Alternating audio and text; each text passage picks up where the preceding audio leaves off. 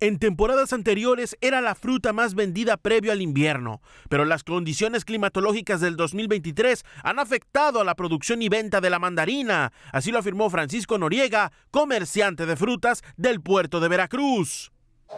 Un 70% menos.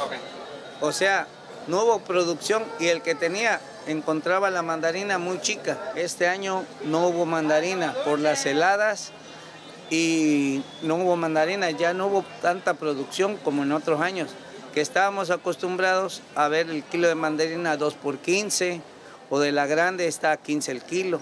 Este año no hubo mandarina y todavía ahorita que encuentras mandarina la encuentras en un precio caro, 30, 35 pesos el kilo.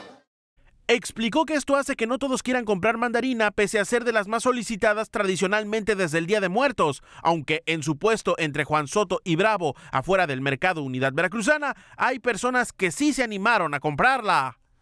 Afortunadamente la gente por la tradición que le pone a sus muertos o lo del Día de Muertos, llevaban mandarina a ponerle, porque es la tradición, el tejocote, la mandarina o algo. Pero este año no, no hubo mandarina, hermano y al no haber, ahora sí, condiciones climatológicas para que la mandarina se dé, no se, no se dio como se debería de verdad. Francisco Noriega dijo que al final solo queda esperar que las condiciones del clima ayuden a que la producción de mandarina sea mejor en este 2024. Abraham Nazar, RTV, más noticias.